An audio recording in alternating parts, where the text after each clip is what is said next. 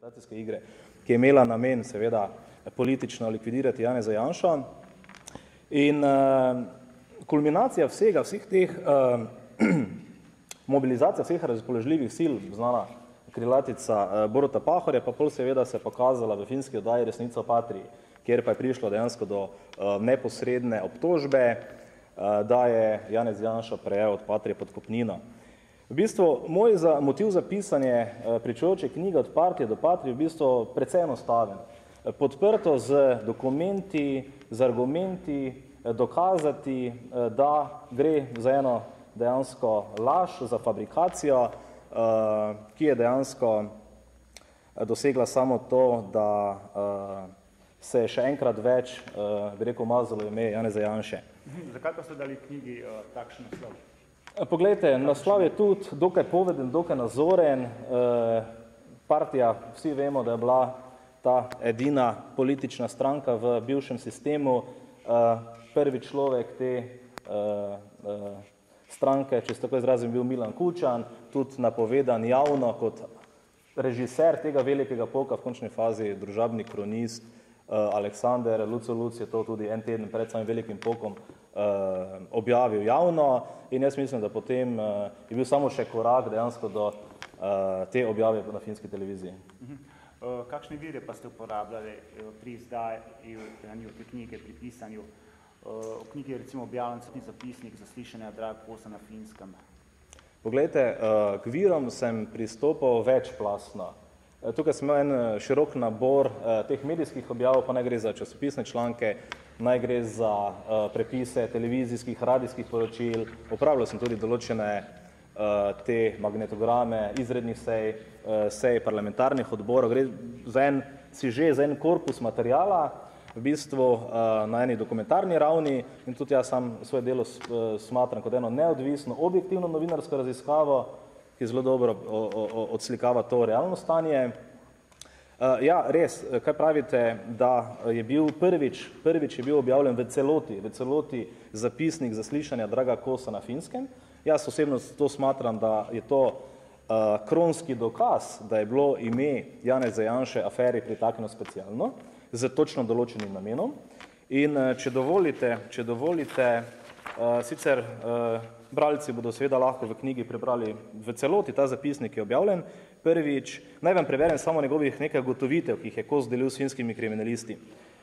Citiram, glede na druge vire imamo informacije, da se predsednik vlade odločil, da sistemska tehnika ne bo dobila posla, to je to drugo podjetje, ki bi posel moralo dobiti. Vse, kar se je potem dogajalo znotraj ministrstva za obrambo, je bila zgolj implementacija te odločitve.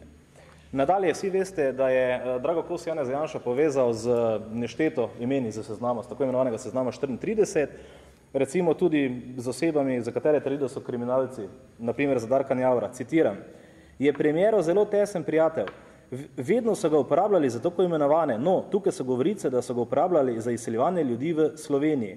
Se pravi, finski kriminalisti so iz Kosovega pričanja dojeli, da dejansko Janez Janša oseba, ki se druži s kriminalci, iz ozadja vodi eh, postopke, kot eh, je bil nakup osem kolesnikov in eh, v tem zapisniku vse črno na belem in jaz mislim, da še enkrat podarjam, da gre za kronski dokaz, da je Drago Kos namensko Janez Janša vplete v to afero. Uh, nekako pa se zdi, da pri tej aferi pomembno vlogo igrajo tudi nekateri novinarji. Um, ja, seveda, v negativnem smislu nič kaj manjše, ko je imel Drago Kos, meni je danes v narekovajih seveda malo žal, da tukaj ni akterjev, kot so uh, Rok Praprotnik, Dejan Karba, Gorot Mekina, uh, ki so aktivno vsak, bi rekel, po svojem trudu in moču, moči uh, se trudili, kdo bo čim bolj po medijsko potunkal Jane Zajanša. Uh, seveda bi pa rad začel od, od, od začetka.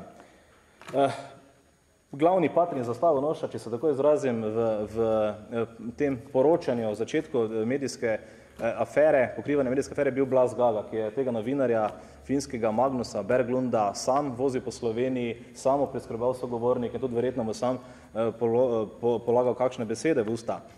Um, seveda, uh, vsa ta uh, silna slovenska raziskovalna, raziskovalna žilica naših slovenskih novinarjev je uh, se je stekla tako, da sta potem novinar Karba in novinar Praprotnik sta se medijsko javno obtoževala drug drugega z, z ovaduhi, kar kaže žalostno sliko slovenskega raziskovalnega novinarstva in mislim, da sta s tem povedala več, kot bi kdorkoli drug. Uh, bi pa še rad tu nekaj izpostavil. Mi je žal, če enkrat podarjam, da ni recimo gospoda Mekine tukaj. Z gospodom Mekinom smo letos imeli eno tako zasebno korespondenco, bo vam verjetno pol gospod Mekina, ko boste ga vprašali, sam potrdil. Uh, Mekina pač pokriva to af, afero za tednik Mladina. In uh, jaz, ko sem že pisal knjigo, sem v bistvu Mekino vprašal, kako lahko trdi, Eh, da so ti, da ta lobistična korespondenca, pa naj gre za elektronsko sporočilo, naj gre za zapisnike eh, teh eh, sestankov, ki so jih imeli ti lobisti, kako to lahko predstavlja, kakšne ključne dokaze, elektronske dokaze, on mi je odvrnil na moj zasebni mail, da to seveda niso nikakršni kronski dokazi, verjetno gre le za določene fragmente, potem pa mladina, mislim, da se pisal 12. februar 2010, objavi na naslavnici, objavi obremenilni finski dokazi. Se pravi, bil sem neposredna priča v najni komunikaciji, dojel, da gre za, da gre za čisto novinarsko diskreditacijo, ko novinar misli eno, piše pa drugo. In v tej knjigi je ta moment tudi naveden in kaže v bistvu na, na to, bi rekel, zelo pristransko, če ne celo zahrbtno novinarsko početje. Uh, zdaj, uh, afera sama, kot je vidno iz zadnjih dogodkov, tudi iz dogodkov prejšnjega tedna, očitno še ni končana. Eh, v bistvu se je torej dve leti kasneje zgodil še nekakva repriza velikega poka, eh, se pravi, da se nam lahko obeta še kakšno nadaljevanje te knjige. Ja, gledajte, eh, ko ste omenjali, predno odgovorim na vprašanje, bi še tu kot istočnico doktora Makaroviča eno misel nadgradil, ko govorimo zdaj o tej kolobaciji, ki se jo tožilka privošči, ko žonglira z besedami, kot sta obtožni predlog pa obtožnica, se mi zdi dejansko zelo neprimerna od tožilke, ki je vodila oziroma smerila ta eh, postopek Branke Zobec Hrastar, da bi ona kot eh, kompetentna v tej osebi oziroma kot eh, oseba, ki daje informacije v tej zadevi, bi lahko jasno glasno povedala, ne pa zdaj še pusti dejansko priliva olja na ta medijski ogen, pa se na nek čuden način izživlja na temi morebitnimi Eh, obdolženci. Zdaj še seveda ne, ne, ne vemo tega, to štafeto, te izjave je predala predsednici okrajnega sodišča Pivkovi, da bo pač ona povedala, kdo so zdaj ti finalni iz te finalne uh, peterice uh, obdolžencev. Ja, kaj se tiče nadaljevanja, seveda uh, želja je pisati v prihodnosti o samem sodnem procesu, ki se bo očitno zgodil, ampak tu pa ga ne smemo pozabiti, ta sodni proces ne bo edin gre seveda za sodne procese, ki so že ali pa še bodo stekli proti akterjem, ki jih imate danes na naslovnici, na naslovnici knjige. Eh, vsi veste, da je proti uh, delu in dejanju, kar bi bila vložena odškodninska tožba se strani uh, Jane Zajanše oziroma stranka SDS v višini 300 tisoč evrov zaradi določenih uh, laži, ki so si jih pač privoščili ti akteri.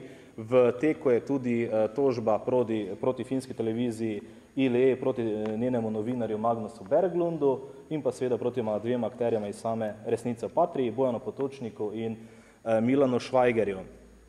Eh, seveda, Magnus Berglund še, še nadalje procesira uh, v našem sodnem sistemu, kot veste, je bila vložena že prečasno zahteva za preiskavo zaradi dveh uh, kaznivih dejanj želive obdožitve in jaz upam, da bo tudi gospod Berglund se znašel potem na sodišču in vse to bi more bitno nadaljevanje moje knjige lahko opisovalo oziroma govorilo o tem.